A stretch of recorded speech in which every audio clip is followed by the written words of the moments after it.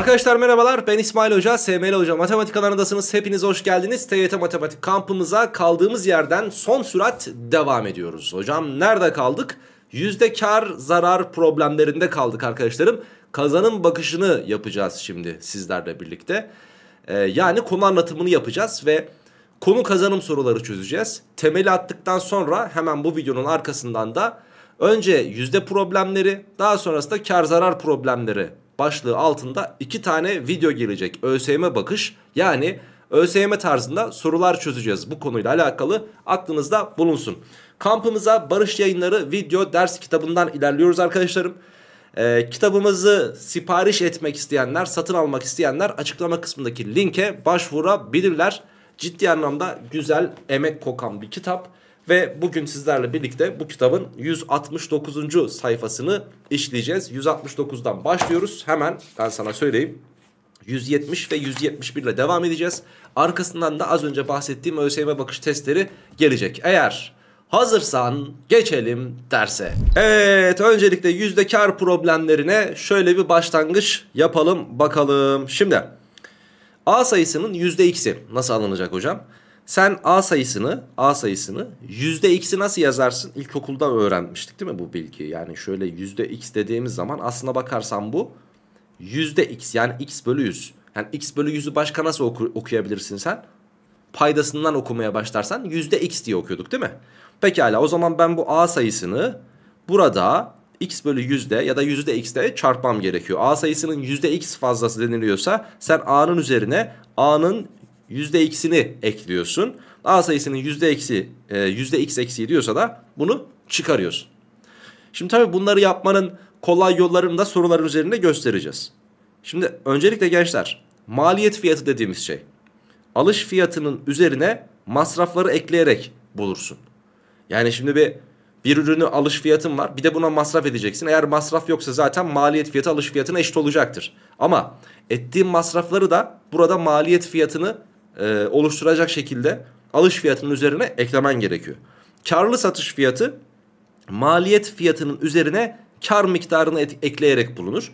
E şimdi haliyle yani doğal olarak düşünürsen biz burada karı nasıl bulmuş oluruz? Karı nasıl buluruz? Maliyeti karşı tarafa atarsan satış fiyatından satış fiyatından maliyeti çıkararak bulursun. Yani sen bir ürünü 10 liraya aldıysan ve 15 liraya sattıysan elde ettiğin kar 5 liradır denilebilir. Peki zararına satış fiyatı nedir? Abi zararına satış fiyatı da yaptığın maliyetin yani maliyet fiyatından daha düşük bir fiyata satarsan zararına satış vardır. Burada maliyet fiyatından zarar miktarını çıkaracak olursan zararına satış fiyatını bulmuş olursun. Veya zarar miktarını şu tarafa atıp bunu bu tarafa atarsan maliyetten satış fiyatını çıkardığın zaman eğer pozitif bir değerle karşılaşıyorsan işte buna da zarar miktarı diyoruz. Alış satış arasında masraftan söz edilmemişse maliyet fiyatıyla alış fiyatı aynı kabul edilecek. Az önce de belirtmiştim. Aksi söylenmedikçe kar ve zarar alış fiyatı yani parantez içerisinde maliyet üzerinden hesaplanacak. Ee, karı ve zararı eğer sana soruda ekstradan özel bir bilgi vermiyorsa hani şunu da yapacaksın bak bunu da adam buraya yapmış demiyorsa sen alış fiyatının üzerinden değerlendireceksin bu karı zararı. A liraya mal olan bir malın x karla satış fiyatı nasıl bulunacak? Az önce de bahsetmiştik zaten buna. A çarpı 100 artı x bölü yüzde hesaplanacak. Yani x fazlasıyla satılacak ya sen satış fiyatını buluyorsun. Aslında şunu yapıyorsun bak. A artı A çarpı x bölü 100 diyorsun. E hocam niye böyle yazmamış o zaman? Bak zaten sen bunu da çevirdiğin zaman buna denk gelir. 100 bölü 100 1'dir. Bir de burada ne var? x bölü 100. A parantezinde 100 bölü 100 1'di. Bir de x bölü 100'ümüz vardı. Şöyle A'yı içeri dağıttığın takdirde A artı AX bölü 100 gelir ki zaten bunun aynısıdır. %x fazlasına satıyorsun çünkü. Zararlı satış fiyatında da tabii ki buradaki yüzden x'i çıkarıyorsun. Etiket fiyatı dediğimiz şey karlı satış fiyatıdır daima. Çünkü sen bir ürünü kaça mal ettiğini belirtmeden kaça satmak istiyorsan etiketin üzerine bunu yazmış olursun. Kar veya zarar ediyorsan tabi bundan alıcının haberi olmaz. Lakin sen etiketin üstüne bir fiyat yazdıysan satış fiyatı budur ve bundan kaynaklı da karlı satış fiyatı olarak karşımıza çıkar genelde bu fiyat. Zamlı fiyat etiket fiyatının üzerine zam miktarının eklenmiş halidir. İndirimli fiyat da etiket fiyatının üzerine indirim miktarının etiket fiyatından indirim miktarının çıkarılmış halidir. Bazen ama unutma illa indirimli diye adam kar etmiyor, satıcı kar etmiyor gibi düşünme. İndirimli fiyat üzerinden de kar edilebilir veya bazen indirim yaptığında zarar da ediyor olabilir. Bu gibi durumları soruların içerisinde dikkatli bir şekilde okuyarak elde etmemiz gerekiyor bizim. Peki indirim ve zam etiket fiyatı üzerinden hesaplanır. Yani sen satış fiyatını hesaplarken, kar miktarını hesaplarken alış fiyatını baz alıyordun ya az önce belirtmiştik. İndirim ve zam miktarını satış fiyatı üzerinden değerlendireceksin soruların içerisinde. Çünkü örnek veriyorum sen bir malı, bir ürünü, e, bir cismi 100 liraya aldıysan ve 150 liraya satıyorsan bunun üzerine satıcı pardon alıcı bunun 150 lira olduğunu bilir. Senin aldığın fiyatı bilmeyecek ve %10 indirim yapıyorum diyorsan etiket fiyatı üzerinden %10 indirim yapıyorsundur. Çünkü zaten alıcının maliyetten haberi yoktur zaten. Bundan kaynaklı etiket fiyatı üzerinden bir indirim yaparsın veya bu ürüne %10 zam geldi diyorsan satıcının aldığı fiyat yani etiket fiyatı üzerine %10 sen zam yapıyorsundur. Haberin ola. Etiket fiyatı E olan bir malın hani etiketin E'sinden kaynaklı %X zamlı satış fiyatı e çarpı 100 artı x bölü 100. Yani az önce A'ya yaptığımız muameleyi şimdi E'ye yapıyoruz. İndirimli satış tutarı da 100 eksi x bölü 100 de bulunabilir gençler. Tabi E'yi bununla çarpacağız. Şimdi sağ üst tarafta öncelikle kazanım bakış 1'e bakalım. Şöyle basit basit çıtır çıtır örneklerle bir ilerleyelim bakalım. 135 sayısının %20'si kaçtır? Hemen ne yapacağım? 135'i %20 dediği için 20 bölü 100 de çarpmam gerekiyor ki 20 bölü 100 bak bunlar dil alışkanlığı olsun. %20'yi gördüğün zaman hani 20 bölü 100'dür ya zaten. Aklına hemen 1 bölü 5 gelsin. Yani 5'te 1'i gelsin. Yani 5'e böleceksin demek. Yani ben burada 20 bölü 100'ü 1 bölü 5 olarak kabul edersem 135 çarpı 1 bölü 5 ne demektir? 135'i 5'e böl demektir. Ki 135'i 5'e böldüğümüz takdirde de zaten karşımıza ne gelir? 27'nin ta kendisi. 80 sayısının yüzde kaçı 20'dir? Demek ki 80 sayısını ben x bölü yüzde çarpınca karşıma 20 çıkacakmış. Değil mi? Peki her iki tarafı 20'ye böldüğünü düşün. 20'ye böl 1, 20'ye böl 4. E tamam. E 4 bölü 100 geldi değil mi burada bak. 4x bölü 100 kaçmış abi? 1'miş. O zaman 4x 100'e eşittir. Ve x buradan kaç gelir? 25 gelir. Demek ki 80'in %25'i yani çeyreği 20'ymiş. Hangi sayının %30'u 6'dır? Şimdi tam tersten soruyoruz. X'in %30'u yani 3 bölü 10'undan bahsediyoruz. Eğer 6 olarak bize verildiyse ben bu 10'u 6 ile çarparım. 3'ü de şuraya şöyle bölüm olarak alırım. Buradan kurtulurum. X eşittir 6 kere 10 60 bölü 3'ten demek ki cevabımız da 20 olacakmış diyebiliriz. Yani 20'nin %30'u 6'ymış deriz sevgili arkadaşlar. 60 sayısının %40'ının %25'i 60 sayısının %40'ı 40 bölü 100 2 bölü 5'tir. Şu an %40'ını buldum. İşte buradaki sayımız şu sayı parantez içerisinde gösterdiğim sayı. E sonuç olarak bize bu işlem yapıldığı zaman bir sayı çıkacak karşımıza. Bunun %25'i yani 1 bölü 4'ünden bahsetmiş. İşte budur arkadaşlar. Peki o halde 4 kere 5 20 idi. 2 ile sadeleştirdiğimde 10 kaldı. 60'ı 10'a bölersem doğru cevabın 6 olması gerektiği içten bile değil. Doğru cevap 6 idi arkadaşlar. Şimdi ise kazanım bakış 2'ye doğru bir geçelim bakalım. 120 sayısının %20 fazlası. Şimdi bak iyi dinle. 120 sayısının %20 ne demekti? 1 bölü 5. %100 ne demek? E 1. E %20 fazlası 1 artı 1 bölü 5'ine yani 6 bölü 5'ine tekabül eder. O halde ben %20 fazlasını hesaplamak istiyorsam aslında 120 bölü 100'ünü hesaplamak istiyorumdur. Yani bu da 120 çarpı 6 bölü 5'tir. 5 ile 120'yi sadeleştirdim. 24. 24 kere 6 da bana 144'ün ta kendisini verir. 120'nin %20 fazlası 144'müş arkadaşlar. Geldik B'ye. 150 sayısının yüzde kaç fazlası 195'tir? Şimdi 150'yi ben 100 artı x bölü 100 ile çarpınca 195'i elde edecekmişim. Yani ben buradan bunu anlıyorum. 50'ye böldüm 3, 50'ye böldüm 2 geldi hocam. Burada bölüm durumundaki 2'yi karşı tarafa çarpım olarak gönderdim.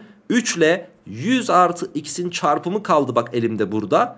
Bu da eşittir 2 kere 195 yani 90 yapmış oldu ki demek ki şurası 130 olması gerekiyor ki 3 kere 130 390'ı versin.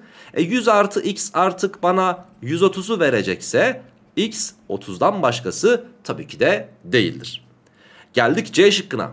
60 sayısının %80 eksiği kaçtır? Şimdi %80 eksiği demek 60'ın %20'si demektir arkadaşlar. %20'si. O halde ben 60'ın %20'sini yani 1 bölü 5'ini bulacağım. Bu da gençler bize neyi verecek? 60 bölü 5'ten 12'nin ta kendisini. D şıkkında ise hangi sayının %20 eksiği 80'dir? Hangi sayının demiş x. Şimdi %20 eksiği demek %80'i demektir. Demek ki x'in %80'i yani 4 bölü 5'inden bahsediyoruz. 80 olan sayıyı arıyoruz. 4'e böldüm 4'e böldüm 20. 5 kere 20 bana 100 vereceği için x eşittir 100 olacak arkadaşlar. Demek ki 100'ün %20 eksiği 80 yapacakmış diyeceğiz. Ve böylelikle 169. sayfanın da sonuna gelmiş olacağız. Eğer hazırsak geçelim 170'e kazanın bakış 3'e. A sayısının %40 fazlası B. Şimdi A'nın %40 fazlası B. B sayısının %40 eksiği de C'ymiş. Buna göre C sayısının C sayısı A sayısının yüzde kaç eksiği ya da fazlasıdır diye soruluyor. Şimdi iyi dinle beni. Şöyle diyelim. Ben A sayısına 100K dersem B sayısı A sayısının %40 fazlası 140K yapmaz mı? İşte bu da B sayısıdır. B sayısının %40 eksiğinden bahsediyor şimdi. Ben bunun %40'ını bulacağım. Yani 140K'nın 40 bölü 100'ünü bulacağım. Yani 2 bölü 5'ini bulacağım. Tabi bu durumlarda kolay yoldan hesaplayabilmek için hemen şunu yapıyorsun. Bölü yüzde iki tane sıfır yok mu? Şimdi bir tane sıfırı burada görmezden gel 4. Bir tane sıfırı burada görmezden gel 14. 4 kere 14 bana neyi verir? 56'yı. Demek ki 56K eksiği olacakmış. C 140K'dan 56K'yı çıkaracak olursak 100'den 16K'yı çıkarıyoruz yani. Bu da bana 84K'yı verecek. Şimdi diyor ki C sayısı A sayısının yüzde kaç eksiğidir? E, A sayısı buydu. C sayısı da bu. Yüzde bak yüzde 100K seçmemizin kolaylığı burada. Yüzde ne kadar eksik? 16K eksik. O halde yüzde 16 eksiğidir diyebiliriz. Hemen eksiği diye de buraya belirtelim gençler. Geldik efendim kazanın bakış 4'e. Bir dikdörtgenin uzun kenarları, uzun kenarları %50 kısaltılıyor. Dikdörtgenin alanının değişmemesi için kısa kenarları yüzde kaç uzatılmalıdır diye sorulmuş. Şimdi öncelikle bir dikdörtgen düşündüm ben. Bu dikdörtgenin uzun kenarı 100A, kısa kenarı 100B olsun. Arkadaşlar bunun alanı nedir? 100A çarpı 100B'dir. Yani aslına bakarsan 10.000 AB'dir. Değil mi? Alan bu. E, alanın değişmemesi isteniyor. Alan yine 10.000 AB olsun istiyor ama uzun kenarları %50 kısaltılmış yani yarıya düşürülmüş deniliyor. Yani yeni dikdörtgenimde benim şöyle bir olay olacak. Şöyle ve hatta şöyle tam çizelim biz onu. Yeni dikdörtgenim böyle olacak. Burası 50A'ya düştü. Acaba burasının ne olması gerekiyor ki buranın alanı gene 10.000 AB olsun? E şimdi o zaman ben 50A ile XB'yi çarptığım takdirde diyelim 10.000 AB'yi vermiş olsun bize. Burada A ile B'nin çarpımı A ile B'nin çarpımını götürür. Bir sıfır ve bir sıfır sildim. Şimdi 1000'i 5'e bölersem ne gelir? 200 gelir. Demek ki 200 x'e eşitmiş. Yani burası ne olmak zorundaymış? 200B. Şimdi 100B iken 200B olacaksa eğer yüzde kaç fazlasına çıktı? Kendisi kadar. Yani yüzde yüzü kadar. O halde yüzde kaç uzatılmalı? Yüzde yüz uzatılmalı arkadaşlar diyeceğiz. Doğru cevabımız bu olacaktı. Şimdi kazanın bakış 5'teyiz. Bir bakkalda bulaşık süngerleri üçerli ve ikişerli paketler halinde satılıyorlar.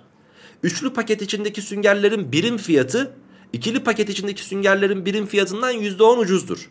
Şimdi şöyle diyelim bir ikili paket var diyelim. Şöyle bir de üçlü paket var diyelim. Tamam o da şöyle olsun. 1, 2, 3. Üçlü paketin içindekilerin birim fiyatı ikili paketin içindekilerin birim fiyatından %10 ucuzsa o zaman ben şunlara 100k ve 100k fiyat çekersem Aha bunlar 90k 90k 90k olacaktı. Ve böylelikle üçlü paketin satış fiyatı 270k iken ikili paketin satış fiyatı da haliyle 200k olacaktı. Bu bakkaldaki üçlü paketin satış fiyatı yani 270k. İkili paketin satış fiyatı yani 200k'dan 17,5 lira fazlaymış. E ne kadar fazla bulduk biz? 70k. İşte o 70k aslına bakarsan 17,5 TL'ymiş. Ve bizden istenen şey şu. İkili paketin satış fiyatı ne kadardır? Yani 200k ne kadardır diye sorulmuş. Şimdi ben burada ne yaparım? 200 ile 175'i çarpıp 70'e bölersem soru işaretini bulurum. Yani cevabı bulurum. O halde yazalım. 200 çarpı 17,5 bölü 70 dedim. Şimdi şu sıfırla şu sıfırı götürdüm. Şu sıfırı sildim. Burayı da 175 yazdım artık. 175'i 7'ye böldüm ve 25 geldi. 2 kere 25 eşittir kaç oldu? 50 oldu. İşte arkadaşlar ikili paketin satış fiyatı 50 liraymış deriz. Doğru cevabımız da 50 olur. Umarım güzel anlatabilmişimdir. Umarım sen de güzelce anlamışsındır. Kazanın bakış altıdayım artık. Devam. Bir sütçü kilosunu belli bir fiyattan aldığı sütü %40 karla satmakta. Sütçü satıştan önce elindeki saf süte bir hile yapıyor. Saf sütün çeyreği kadar su katıyor arkadaşlar. Suya para ödemeyen sütçünün satıştaki gerçek karı yüzde kaçtır? Öncelikle ben diyorum ki şöyle bir olay olsun. 100k kadar sütü vardı ve bunu 100a'ya satıyor. Tamam mı? E şimdi bu adam ne yapıyor? 100k'lık sütün içerisine para vermediği suyu katıyor. Ne kadar katıyor? Bunun çeyreği kadar. Yani 125k su süt karışımını elde ediyor ama müşteri bunu tamamen süt zannediyor ve bu kadar sütü de sevgili arkadaşlar 100A'ya mal etmiş gibi oluyor. Bak 100K ürün süt aldı 100A'ya aldı ama. Şimdi 125K sütü 100A'ya almış gibi olmadı mı? Evet aynen öyle oldu. Peki karı neydi bu adamın? %40'tı. Yani o zaman ben şöyle diyebilir miyim? Bu adam, bu adam başlangıçta ne kadar para harcadı diye düşünelim. Başlangıçta ne kadar para harcadı? E, 100k süt almıştı ve litresini 100 A'dan almıştı. Yani 10.000 AK kadar bir para harcadı. Maliyetimiz budur. Peki bu adam ne kadara sattı? E 125k süt sattı bu adam. Su da olsa içerisinde müşteri onu süt zannediyor. Ve çarpı %40 karla sattığı için de 140 A'ya satmış oldu. Bakalım şimdi ne kadar para alacağız gerçekten. Şimdi öncelikle şurasını ben 140 ile 125'i çarpacağım ya. 125 ile 14'ü çarpalım öncelikle. 4 kere 125 500 yapar. 1 kere 125 de 125'tir. Bunları toplarsam 0, 5, 7, 1 gelir ve burası 1750 yaptı ya. Bir tane de sıfırım eksikti burada. 17500 AK dedim. Tamam mı? Şimdi düşünelim. Düşünelim. Bu kadar para harcadım. Bu kadar para aldım. Karımız ne? E şimdi abi bak. Ben bundan 2 sıfırı sildim. Bundan da 2 sıfırı sildim. Aslında 100 harcamışım da 175 kazanmışım gibi düşün. E yüzde ne kadar kazanmış oluyorum? Fazladan 75. O zaman gerçek karımız %75'in ta kendisidir diyeceğiz. Cevabımız %75 olacaktı. Ve artık geçtik kazanın bakış 7'ye. Bir balıkçı var. 16 kilo levrek, 20 kilo somon, 50 kilo hamsi yakalamış. Hemen yazıyorum. 16 kilogram levrek, 20 kilogram somon ve 50 kilogram da hamsi yakalamış yazdık. Diyor ki daha sonra bu balıkların kilo satış fiyatlarını levrek somondan somon da hamsiden %25 daha pahalı olacak biçimde belirlemiş. Şimdi %25 pahalı olacak biçimde belirliyor ya. Şimdi %25 pahalı olduğu zaman da %25'i kolay alınan bilen bir sayı seçelim. O halde ben diyorum ki hamsinin fiyatından %25 pahalı olacak olan somon varsa ben hamsinin fiyatına 20k dersem somonun fiyatı hamsininkinden çeyreği kadar fazla. Hatta 20k demeyelim 16k diyelim arkadaşlar. 16k hamsi olsun.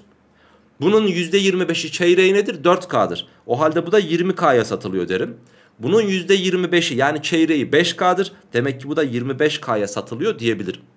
Diyor ki balıkçı bu balıkların tamamını belirlediği fiyatlardan satınca 8 bin lira gelir elde etmiştir. E şimdi kilosunu 25K'dan satıyor.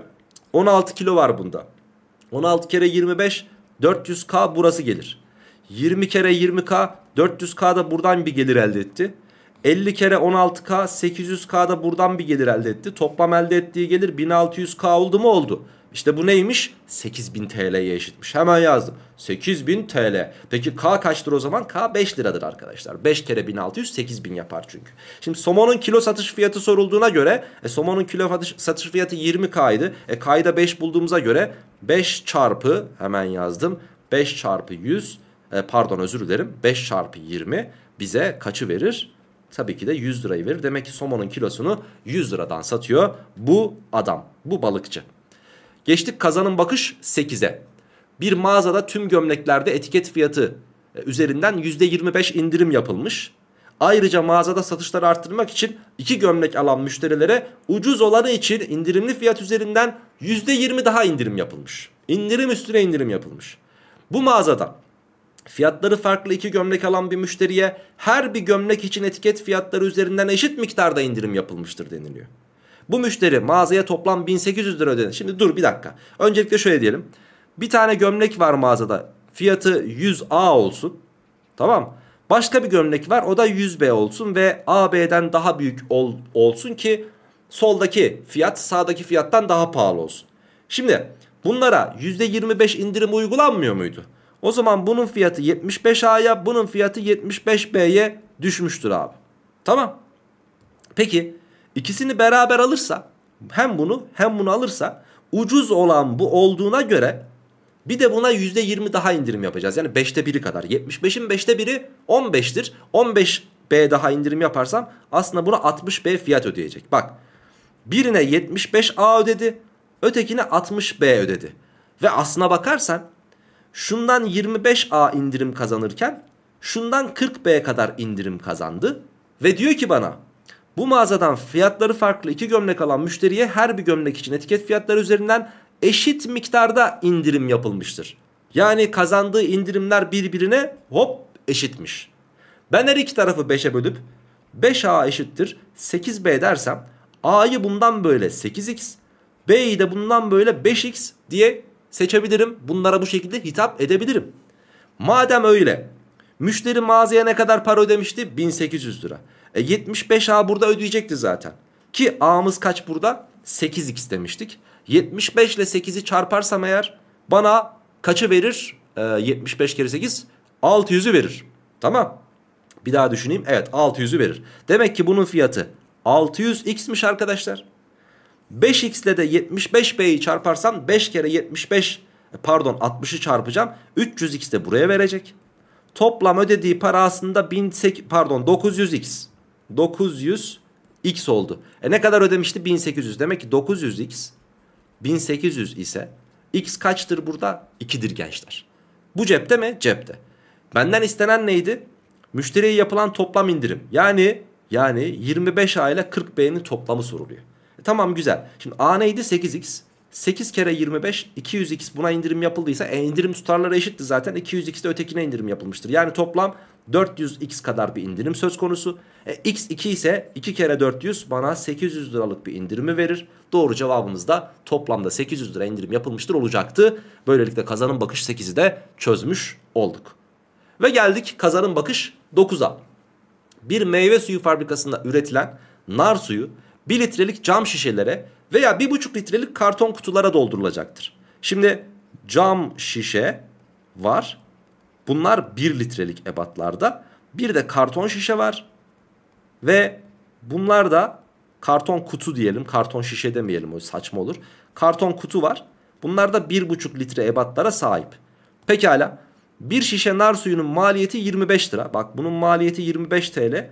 Bunun maliyeti de 27 TL'ymiş. Güzel. Bu fabrikada bir şişenin maliyeti bir kutunun maliyetinden 6 lira fazla. Şimdi karton kutuya ödediğimiz fiyat, e, cam kutuya ödediğimiz fiyat A ise karton kutuya ödediğimiz fiyat sadece kutusuna ama boş e, kısmına A eksi 6'dır diyelim. Çünkü 6 lira fazlaydı değil mi şişenin maliyeti? Buna göre bir şişenin maliyeti soruluyor. Yani A soruluyor bizden. Peki nasıl düşüneceğiz? Şöyle. Ben ben ee, 1 litre 1 litre ne suyuydu bunlar? Nar suyu. 1 litre nar suyunun maliyetine x lira diyeceğim. Böylelikle bunun içine 1 litre girecek ya 1x yani x. Tamam x kadar buna ödedim. Artı üstüne A lirada cam şişenin maliyetini ödedim ve bu bana 25 TL'yi verdi. Güzel.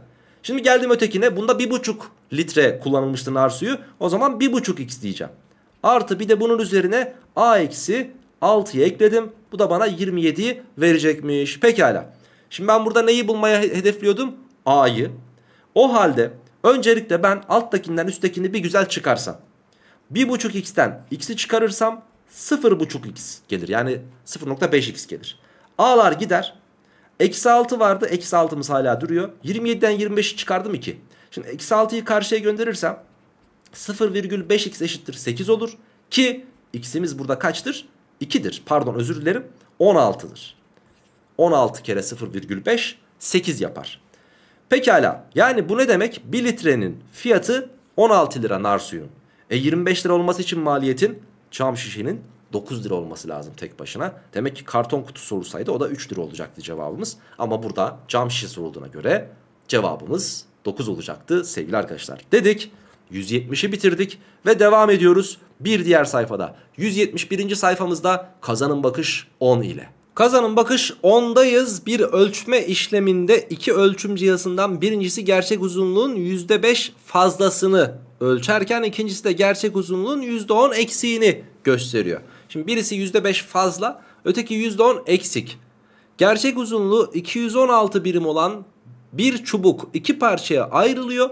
Kısa parça birinci cihazla uzun parça ise ikinci cihazla ölçüldüğünde görülen değerlerin toplamı 216 birim oluyor. Buna göre uzun parçanın gerçek uzunluğu kaç birimdir? Şimdi bak e, iki, normalde zaten 216 birim olan bir çubuğu gençler iki parçaya ayırıp birini %5 eksik gösteren ötekini %10 fazla gösteren bir cihazla ölçtüğümüz takdirde bu ölçüm değerlerini topladığımızda yine 216'yı buluyoruz. Yani yine gerçeği buluyoruz. Demek ki bunu çok güzel ayarlamamız lazım ki şu şekilde yaparız. İyi dinliyorsun şimdi. Şimdi hocam bak şöyle bir olay var. Birini %5 fazla gösteriyor. Yani şöyle diyelim 100K iken 105K gösteriyor.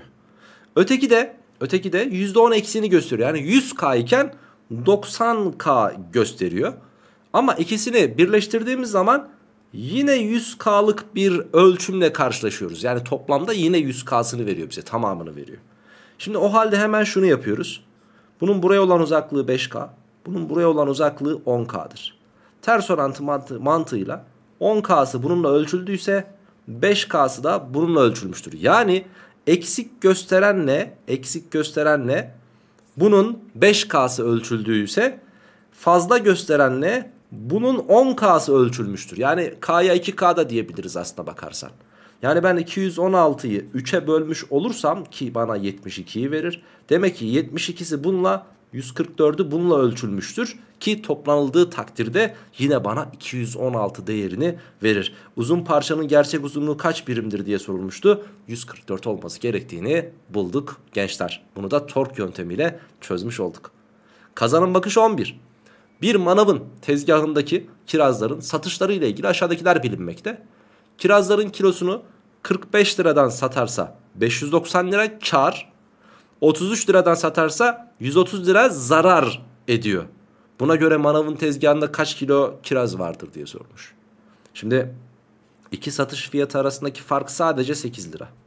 Ama sadece 8 lirayken birinde 590 lira kara geçerken ötekinde 130 lira zarara geçiyor. Yani bu fiyatlar arasındaki fark nedir?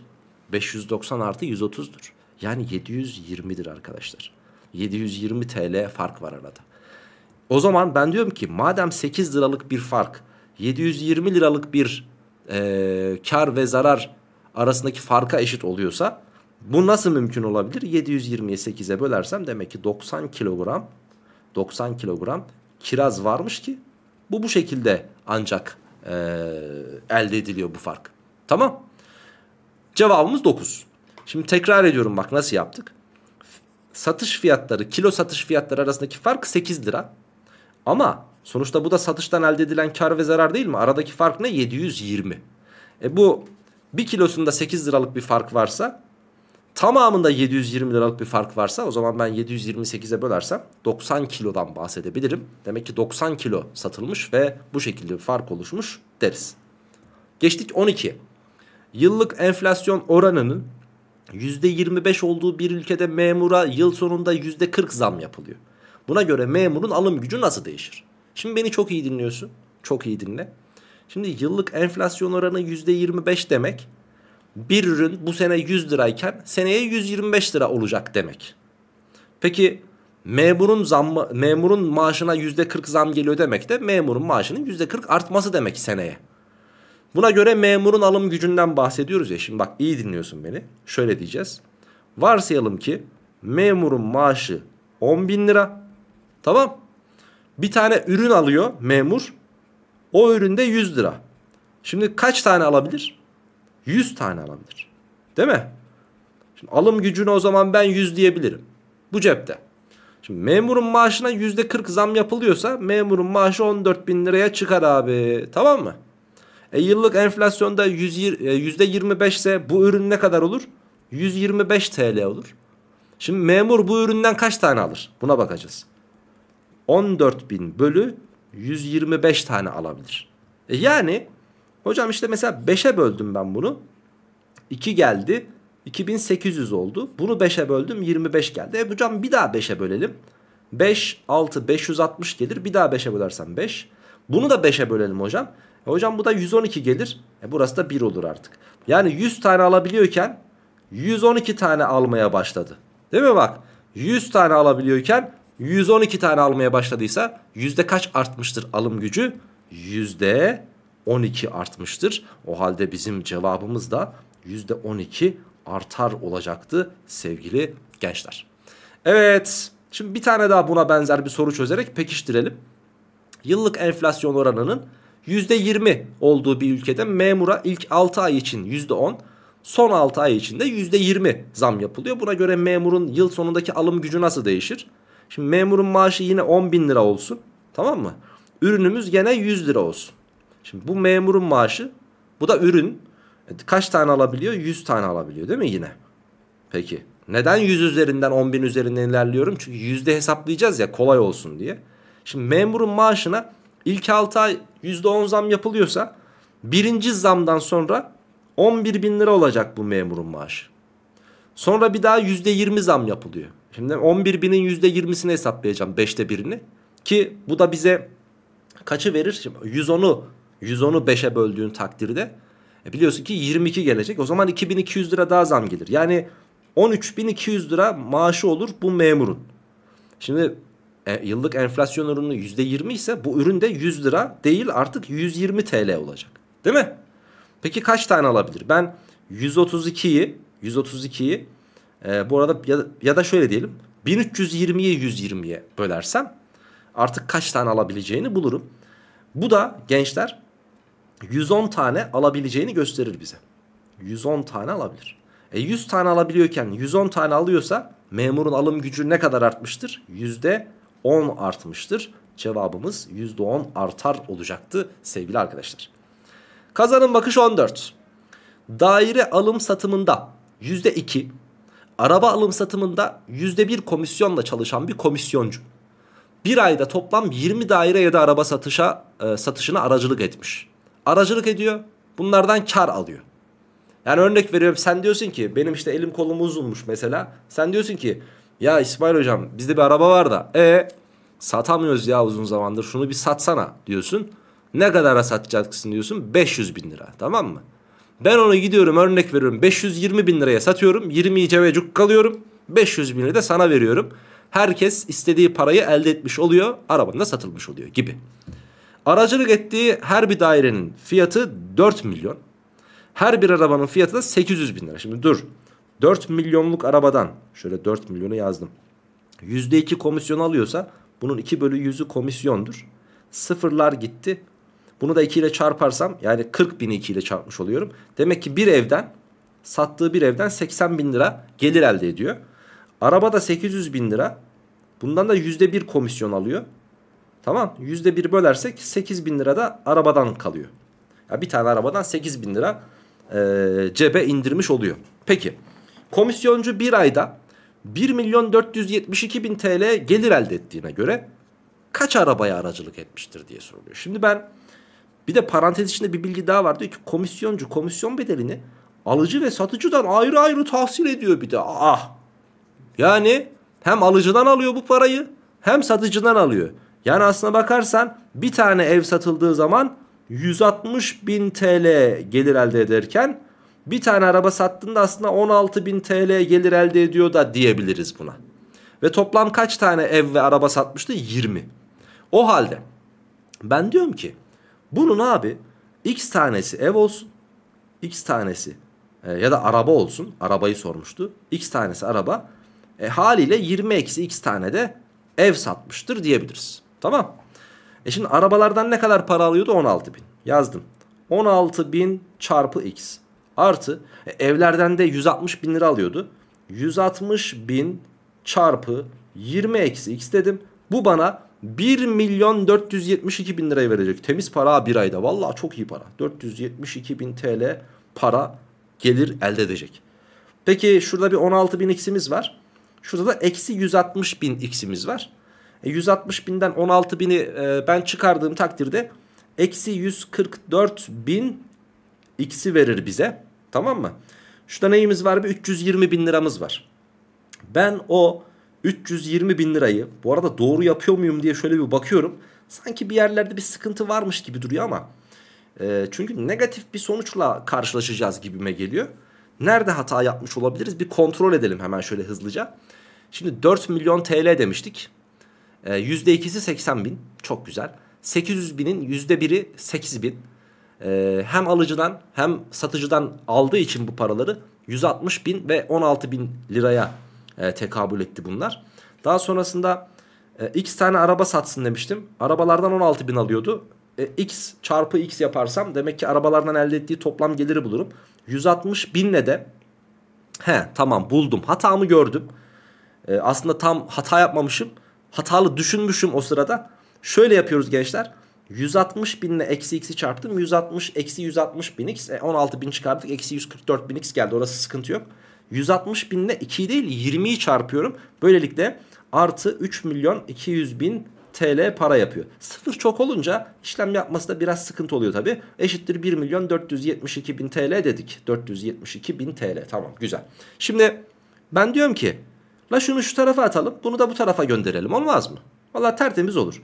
Yani 144 bin x eşittir diyorum. Şimdi isterseniz hatta şöyle yapalım. Şöyle yapalım. La bunda 3 tane sıfır var. Bundan da 3 tane sıfırı götüreyim. Bundan da 3 tane sıfırı götüreyim. Kabul mü? Böylelikle 144x eşittir. 3200'den 1472'yi çıkaracağım. 3200'den 1400'ü çıkarmış olsaydım 1800 gelirdi. 72 daha çıkarırsam 1728 olur. 1728 olur. Çok güzel. Şimdi x'i bulalım arkadaşlar. x eşittir. 144'ün e, 1728'in içerisinde kaç tane 144 var acaba? 10 tane olsa 1440 olurdu. Değil mi? 10 tane olsa. Sonu 8'li gelsin diye de düşünecek olursak e, 17 çok fazla olur. Değil mi? En iyisi bir sadeleştirmeye gidelim. 12'ye böldüm 12x olsun. Bunu da 12'ye bölelim. 17'nin içinde bir defa. 52'nin içerisinde 12 4 defa. Kalan 4'tür. 48'in içerisinde yine 4 defa. Ve x buradan kaç gelir? 12 gelir. Çok güzel. 12 defaymış. Şimdi a doğru 2 kere 4'ün 8 olduğunu unuttuk. 4 kere 7'ye direkt daldık. x eşittir 12. E neyi sormuştu bize? Kaç arabaya aracılık etmişti? E x tane araba demiştik. O zaman cevabımız 12 tane olacaktı sevgili arkadaşlar. Ve 15. soru artık bu videonun da son sorusu gençler. Bir teknoloji mağazası 6 ayın üzerindeki vadeli satışlardan %5 vade fark alıyor. Yani diyor ki eğer diyor 6 ay taksite böldüreceksen diyor peşin fiyatına bölerim diyor ama diyor 6 aydan sonrasına da taksite böldüreceksen 6 aydan daha fazla taksite böldüreceksen diyor ben diyor bunun %5 fazlasını alırım diyor. Ona bölerim diyor. Yani hani %5 fazlası neyse kaç taksit istiyorsan diyor o kadar miktara bölerim diyor. Şimdi bu mağazadan 10 ay vadeli 80 bin liraya bilgisayar alan müşterinin ödeyeceği aylık eşit tutar kaç liradır diye sormuş. Öncelikle 10 ay dediği için bir kere 80 binin üzerine ben %5 ekleyeceğim.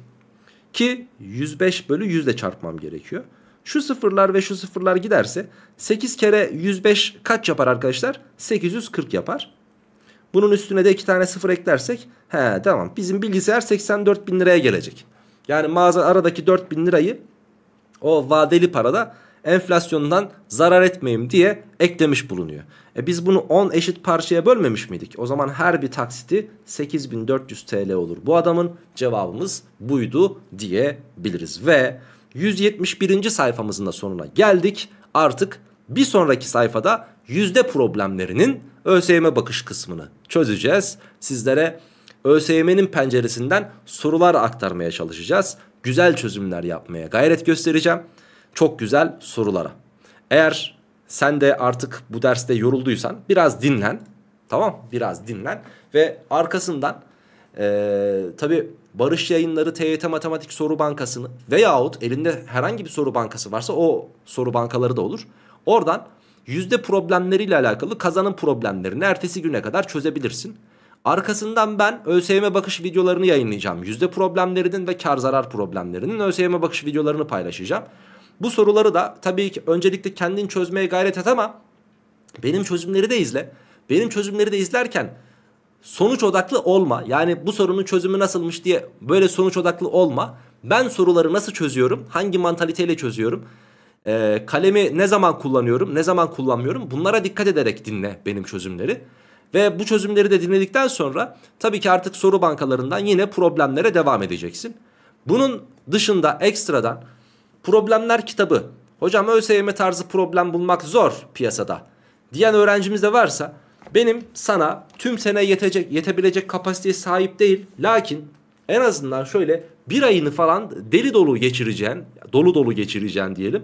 Güzel bir problemler kitabı önerim var. Bu benim kitabım arkadaşlar. Kare Akademi yayınlarından çıkarmış olduğumuz 40 soru serisi problemler fasikülümüz. Toplamda 88 sayfa ve şöyle göstereyim. Sağlı sollu her iki sayfada bir tane testi olacak şekilde 40 tane testten oluşan bir fasikül arkadaşlar. Yani 40 çarpı 8'den içerisinde 320 tane soru var. Hocam 320 soru az değil mi? Valla az değil. Yani şu kitabı alıp bitirmeye kalksan e, bir ayda dolu dolu bitirirsin. Tamam. Böylelikle bir ayını da çok verimli geçirmiş olursun. Aklında bulunsun. Yine bunu da satış linki e, Barış Yayınları video dersi kitabının satış linkiyle aynı yerde mevcut. Hocam bu 40 soru serisi problemlerin hani seri diyorsunuz ya hani madem seri demek ki bunun farklı kitapları da var. Aklına geliyorsa evet farklı kitapları da var. 40 soru serisi TYT matematik ve 40 soru serisi AYT matematik olmak üzere iki tane daha kitabı var. Yani toplam şöyle yapacak olursak 3 tane kitaptan bahsediyoruz. Aslında kitap değil hepsi fasikül. Bunları birleştirdiğimiz zaman ancak bir kitap elde ediliyor. Toplamda 240 sayfaya erişiyor. Ve böylelikle e, ben aslında bakarsanız bunları TYT matematik videoların içerisinde öneriyorum ama tam bir tekrar kitapları. Ama şunu yapabilirsin tabii daha düzenli bir öğrenciysen, daha planlı programlı çalışıyorsan şöyle düşün. Genelde öğrencilerimiz bu kitapları sınava bir ay kala, bir buçuk ay kala, iki ay kala bu kitapları alıyorlar ve tamamını bitiriyorlar. Geçen sene böyle yaptılar. Ama uyanık öğrenciler, bazı uyanık öğrenciler, akıllı adamlar şöyle yapıyorlar. Hocam mesela örnek veriyorum ben temel kavramları bitirdim. Temel kavramlardan sonra kendimi temel kavramlarda artık tam mıyım değil miyim bunu check-up edebilmek adına ben sizin bu kitabınızı buldum ve bunu bu şekilde kullanıyorum. Çünkü hemen temel kavramlarla alakalı 40 tane soruyu karşıma gelebilecek 40 tane soruyu buradan temize çekiyorum, temizliyorum, eritiyorum. Eksiğim varsa bunları sizin çözüm videolarınızdan tamamlıyorum. Eksiğim yoksa da diyorum ki tamam temel kavramlarda ben okeymişim. O zaman yoluma devam ediyorum. İşte işlem becerisi geliyor. İşte mutlak değer basit eşitsizlikler geliyor. Üstü sayılar köklü sayılar geliyor. Pro problemleri zaten 40 soruda anlatamayacağımız için onun için farklı bir fasikül yazmıştık. Aynı şeyi AYT'de de yapıyorlar ki bu kitapların arasında benim en beğendiğim kitaplar sıralamasını söyleyecek olursam 40 soru serisi AYT. Mutlaka ama mutlaka herkesin çözmesi gereken birinci kaynak bence. Yani birinci kaynak derken tekrar amaçlı kullanılan ilk kaynak bu olmalı. Arkasından problemler ve arkasından 40 soru serisi TYT matematik. Ciddi anlamda içime sinerek yazdığım 3 kitap oldu. Lakin hani en beğendiğim de ha bu fıstık yeşil olan. Tamam. AYT matematiği adam akıllı tekrar etmek istiyorsan, problemlerde bir ayını dolu dolu geçirmek istiyorsan ve TYT matematikte hiç görmediğin farklı tarzda sorular görmek istiyorsan aha bu üç kitabı alıp tüketeceksin. Tamam. Evet gençler sonraki videolarda görüşürüz. Kendinize dikkat edin. Hoşça kalın, sağlıkla kalın ve tabii ki bol bol matematik çalışmayı da lütfen unutmayın.